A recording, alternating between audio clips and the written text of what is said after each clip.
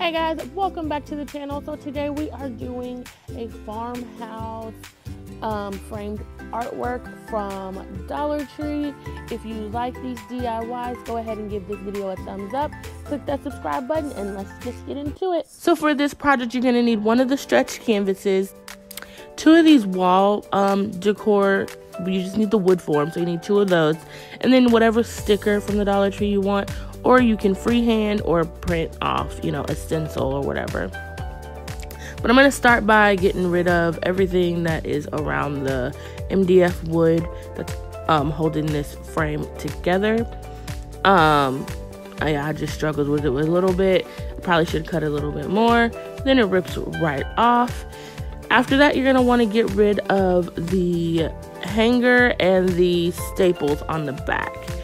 And then you see me just pulling off, um, separating them because I use two, so I need four of them, and um, I'm just pulling off the little edges that aren't gonna make it. It really is easy, like it comes apart fairly, fairly simple.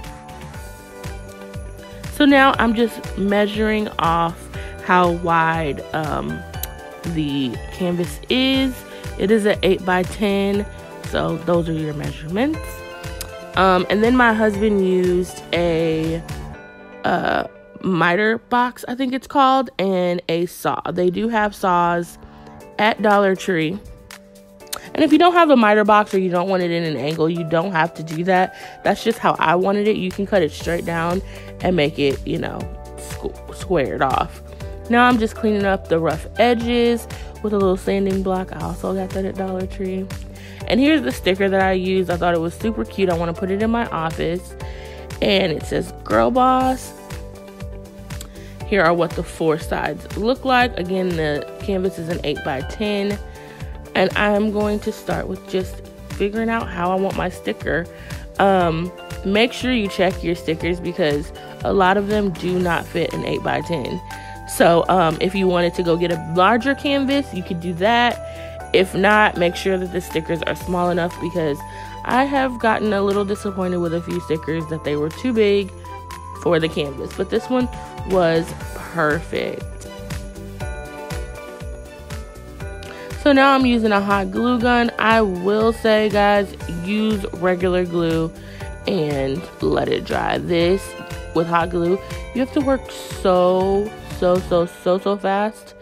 And um, with a smaller glue gun, I don't even I run out of glue sometimes before I can even you know get through the whole line.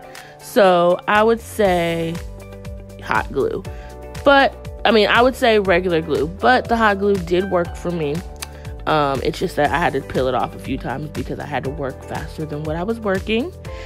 And then I went ahead and I reinforced it with some staples. And there is that sign. It was fairly easy and it cost me four bucks to make. Now on to the next sign. I got one of these love um, wall plaques for Valentine's Day. And I removed the heart and I'm going to go in with some um, Waverly chalk paint in ivory. I'm just going to try to cover up all of the red basically. And really make this look like a rustic wood effect or weathered wood I guess is what you would call it. And this is the finished product of that. I took a sticker like the last one and um, I think it's like a wall sticker is what they're called. And I'm just going to smooth it out onto the can onto the surface of the little wood plaque. I know you see like bubbles here, but when it's hung up on the wall, you don't really see it. And the sign looked a little plain, so I wanted to add a border. So I went and I had the Jenga pieces, um, the tall tower, and they had already had some stained. So I um, put the frame together first and now with the frame already dry, I am just going around the border of it to be able to place the entire frame down at once. I use 10 at the bottom, 10 at the top, and 3 on both sides. Um, and then the frame fits in there pretty well. Like on them, it fits right on top of the fr- uh, photo pretty well. And there's another frame all done. This one just cost three bucks, and I absolutely love it.